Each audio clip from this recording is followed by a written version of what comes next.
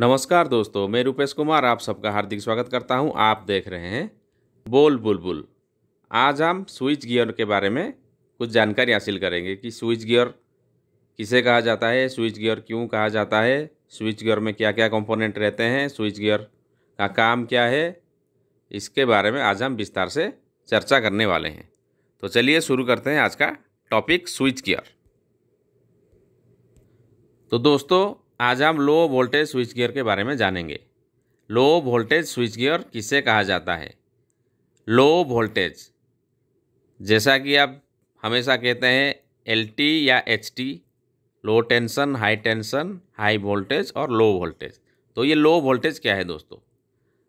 IS standard के हिसाब से आईएस यानी इंटरनेशनल स्टैंडर्ड के हिसाब से और आईईसी इंडियन इलेक्ट्रिसिटी के स्टैंडर्ड के हिसाब से हम देखेंगे तो लो वोल्टेज यानी एसी में हमारा वन के बी वोल्ट से नीचे वोल्टेज को हम बोलते हैं लो वोल्टेज हज़ार वोल्ट के नीचे वाले को हम बोलेंगे no, low voltage in AC और डीसी में ये हो जाएगा बारह सौ वोल्ट ट्वेल्व हंड्रेड वोल्ट को हम बोलेंगे डीसी सर्किट में लो वोल्टेज तो हो गया क्लियर आपका? लो वोल्टेज तो पता चल गया। अभी स्विच का मतलब क्या है? डिक्शनरी में हम देखेंगे तो स्विच यानी किसी भी सर्किट को हम मैक और ब्रेक करते हैं थ्रो ये स्विच एक स्विच के माध्यम से हम किसी भी सर्किट को मैक एंड ब्रेक कर सकते हैं। वो मैकेनिकल हो इलेक्ट्रिकल हो या इलेक्ट्रॉनिक माध्यम से हो, किसी भी सर्किट को मैक और ब्रेक हम स्विच के माध्यम से करते हैं। और इलेक्ट्रिकल डिवाइस को हम ऑन ऑफ़ करते हैं थ्रो ये स्विच और गियर का मतलब होता है डिक्शनरी में अगर हम गियर को, गियर का मतलब समझने जाए, गियर को ढूँढने जाएँ तो हमें क्या मिलेगा दोस्तों? इमेज को देखिए, गियर यानी ये जो आपको व्हील जैसा डिवाइस दिखाई दे रहा है, उसे बोलते हैं गियर। देखिए, एक व्हील में दो व्हील लगे हुए हैं। यानी अगर किसी भी एक व्हील को हम क्लॉकवाइज घुमाएँगे तो दूसरा वाला व्हील है उसका टीथ देखिए कैसे फंसा हुआ है एक दूसरे के साथ, यानी एक को अगर हम क्लॉकवाइज घुमाएँगे तो दूसरा वाला एंटी क्लॉकवाइज घूमेगा। सेम उसी तरह अगर किसी एक गियर को हम एंटी क्लॉकवाइज घुमाएँगे तो दूसरा वाला क्लॉकवाइज घूमेगा। ये है गियर का फ़ंक्शन यानी इससे हम किसी भी चीज़ का हम डायरेक्शन को चेंज कर सकते हैं, उसका स्पीड को हम वेरी कर सकते हैं थ्रू ये गियर इसे गियर कहा जाता है। तो स्विच यानी ऑन ऑफ़ करना, किसी भी सर्किट को मेक और ब्रेक करना और गियर का मतलब कंट्रोल करना। उसका स्पीड हो, उसको मॉनिटरिंग करना कंट्रोल करना, इसे हम गियर के हिसाब से देखेंगे। तो स्विच गियर यानी a set of things required for switching action switching करने के लिए जो हमको चीज़ें चाहिए, बहुत सारा चीज़ें चाहिए, एक चीज़ से हम कंट्रोल नहीं कर सकते स्विचिंग नहीं कर सकते टोटल थिंग्स को हम बोलेंगे स्विच गियर स्विच गियर में बहुत सारे चीज़ें रहते हैं। उन चीज़ों का नाम क्या है? वो सब क्या क्या हैं? चलिए स्विच गियर में क्या क्या चीज़ होते हैं?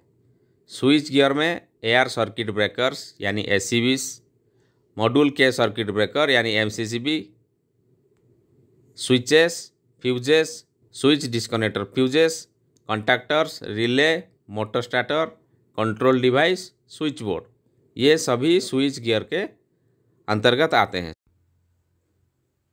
तो स्विच गियर क्या करता है?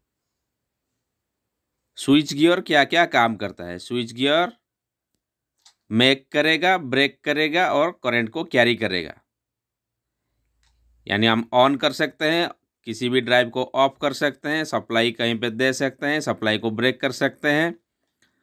और प्रोटेक्शन यानी अगर फॉल्ट कंडीशन आ जाए तो स्विच गियर उसी डिवाइस को प्रोटेक्ट करेगा? ओवरलोड लगे रहते हैं, ब्रेकर लगे रहते हैं, ये सभी इक्विपमेंट, फ्यूज, ये प्रोटेक्शन इक्विपमेंट हैं।